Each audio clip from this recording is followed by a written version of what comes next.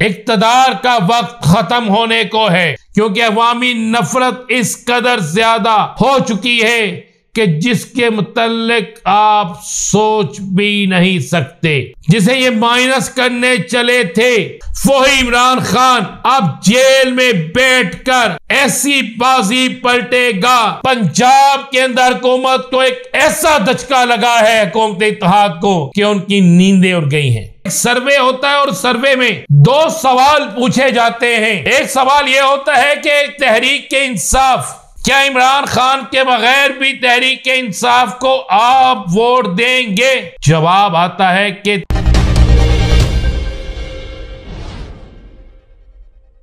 بسم اللہ الرحمن الرحیم۔ السلام والسلام علیکم یا سیدی یا رسول اللہ۔ السلام والسلام علیکم یا سیدی یا حبیب اللہ۔ تمام سننے والوں کو السلام علیکم، میں ہوں رانا عظیم۔ اور آپ دیکھ رہے ہیں Rana Azeem official YouTube channel Facebook page اور ٹک ٹاک۔ خبر سے پہلے میں آپ کو ایک چیز بتا دوں کہ ایک تھیوری چل رہی تھی کہ عمران خان کو مائنس کر دیا جائے۔ ایک تھیوری چل رہی تھی کہ کپتان جو ہے، اس کی جماعت پر پابندی لگا دی جائے اور کپتان کے ساتھ وہ کیا جائے جو ایم کیو ایم کے ساتھ کیا گیا ہے۔ یہ تھیوری مختلف سیاسی جماعتوں کے اندر چل رہی تھی اور اس تھیوری پر باقاعدہ ایک بڑے سینیٹر نے اس پر اپنی گفتگو بھی کی، اس پر بیان بھی جاری کیا۔ اس حوالے سے ایک سروے، یہ میں آپ کو ایک بڑی خبر دینے جا رہا ہوں۔ اس حوالے سے ایک سروے ہوتا ہے اور سروے میں دو سوال پوچھے جاتے ہیں۔ ایک سوال یہ ہوتا ہے کہ تحریک کے انصاف، کیا عمران خان کے بغیر بھی تحریک کے انصاف کو آپ ووٹ دیں گے؟ تو جواب آتا ہے کہ تحریک انصاف عمران خان ہے اور عمران خان کا نام تحریک انصاف ہے۔ اگر عمران خان سے ہٹ کے تحریک انصاف ہوگی تو ہم اس کے ساتھ نہیں ہوں۔ دوسرا سوال پوچھا جاتا ہے کہ اگر تحریک انصاف پر پابندی لگا دی جاتی ہے ان کے تمام لیڈرز کے الیکشن لڑنے پر، سیاست کرنے پر پابندی لگا دی جاتی ہے، اور پھر آپ کو کہا، آپ کو کہا جاتا ہے کہ ووٹ ڈالیں، تو پھر آپ کس کو ووٹ ڈالیں گے؟ تو آپ کو یہ خیرت انگیز بات بتاتے ہیں۔ کہ پچپن پرسنٹ لوگوں نے کہا کہ ہم پھر ووٹ ڈالیں گے ہی نہیں، ہم اس نظام کو مسترد کریں گے۔ تیس فیصد لوگوں نے کہا کہ ہم ووٹ ڈالے جائیں گے، لیکن بیلٹ پیپر پر یہ لکھیں گے کہ صرف عمران خان۔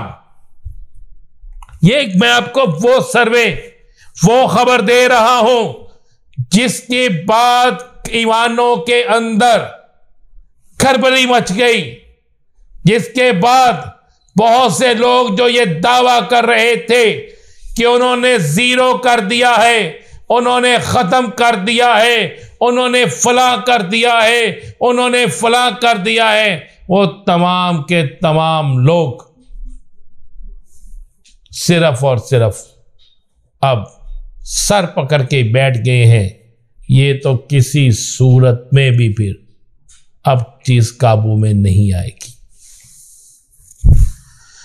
آپ کو تین بڑی خبریں دینے جا رہا ہوں۔ یہ پہلے جو میں نے آپ کو بتایا، یہ ان لوگوں کے لیے ہے جو لوگ ارادہ کر رہے تھے، جس میں تین سیاسی جماعتیں تھیں۔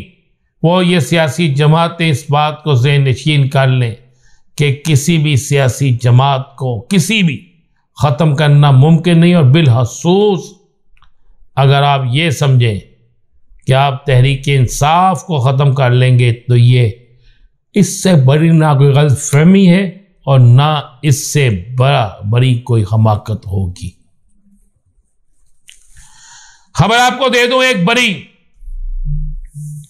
کہ وقت، اقتدار کا وقت ختم ہونے کو ہے۔ بہت سے لوگ میری بات سے شاید اتفاق نہ کریں، لیکن چند دن بعد جب حکومت کے خلاف ایک بڑا اتحاد، جس میں جماعت اسلامی سے لے کر جمعیت علماء اسلام، جماعت اہل سنت سے لے کر سنی اتحاد کونسل، جس میں آپ کو نظر آئے گا کہ بلوچستان کی جماعتوں سے لے کر تحریک انصاف، جس میں آپ کو نظر آئے گا کہ اور بھی بہت سی جماعتیں جو بظاہر اس وقت نظر نہیں آ رہی، وہ تمام کی تمام سیاسی جماعتیں اس بڑے اتحاد کا حصہ ہوں گی جو اتحاد حکومت کے خلاف ہوگا اور اس حکومت کے خلاف ایک بڑے اتحاد کے بعد حکومت کا قائم رہنا، حکومت کا اپنے اقتدار کو بچانا کسی صورت ممکن نہیں ہے۔ اس کی بہت سی وجوہات ہیں۔ ایک لڑائی ہوگی سڑکوں پر، سیاسی جنگ، میں دوسری لڑائی نہیں کہہ رہا۔ ایک ہوگی عدالتی جنگ ایک ہوگی پارلیمنٹ کے اندر کی جنگ۔ ان تینوں بڑی تحریکوں کے تحریکوں کے آگے حکومت کسی صورت نہیں ٹھہر سکے گی۔ کیونکہ عوامی نفرت اس قدر زیادہ ہو چکی ہے کہ جس کے متعلق آپ سوچ بھی نہیں سکتے۔ فائنل ہو چکا ہے حکومت کے خلاف برائے اتحاد۔ بس اس اتحاد کا نام اعلان اور ایک بڑی پریس کانفرنس صرف یہ ہونا باقی ہے۔ عمران خان نے بازی پلٹ دے گا۔ جسے یہ مائنس کرنے چلے تھے، جسے یہ مائنس کر رہے تھے، جسے اپنی طرف سے مائنس کرنے کی حکمت عملی، Noon League Peoples Party M Q M final کر چکی ہے۔ فوہی عمران خان، اب جیل میں بیٹھ کر ایسی بازی پلٹے گا، جس وقت تحریک شروع ہوگی، جس وقت تحریک چلے گی، تو آپ کو نظر آئے گا کہ حکومتی گونسلوں سے کئی پرندے اٹھ جائیں گے اور اٹھ کر وہ تمام کے تمام پرندے حکومت کے خلاف جو بڑا اتحاد ہوگا، اس کے گونسلوں میں آ کر بیٹھ جائیں گے اور پھر کپتان ایسی بازی پلٹے گا، ایسی گیم پلٹے گا کہ شاید حکومت کہہ سکتے ہیں کہ بہت تھوڑے وقت کی مہمان ہے۔ شاید نہیں، یہ یقینی ہے۔ اور آج تو، آج سے ایک دن پہلے تو پنجاب کے اندر حکومت کو ایک ایسا دچکا لگا ہے حکومت اتحاد کو کہ ان کی نیندیں اڑ گئی ہیں۔ کیونکہ ان انہوں نے اپنے لوگوں کو یہ یقین دکھا دلا رکھا تھا کہ بس ساڈی گل ہو گئی ہے، سب ساڈے کول ہے۔ لیکن ہوتا کیا ہے، سپریم کورٹ کے فیصلے کے بعد۔ نون لیگ کے تیئیس پیپلس پارٹی کے دو کاف لیگ کا ایک اور آئی پی پی کا ایک ایم پی اے۔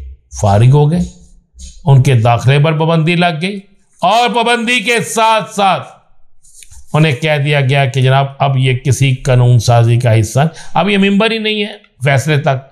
تارک وسیقین وسیم انجم، بسرو جی مقصودہ بی بی، ربینہ نذیر، سلمہ زاہد کنول نمان سیبا غفور، سعیدہ شہر بانو آمرہ پروین، سیدہ سمیر احمد، عثمہ بٹ شگفتہ فیصل، نسرین ریاض سائدہ نوید، فرزانہ عباس، ماریا تلال تشین فواد، آبدہ بشیر سعدیہ مظفر، عامر خان، سمیہ عطا، راحت افزا اور رخسانہ شفیق۔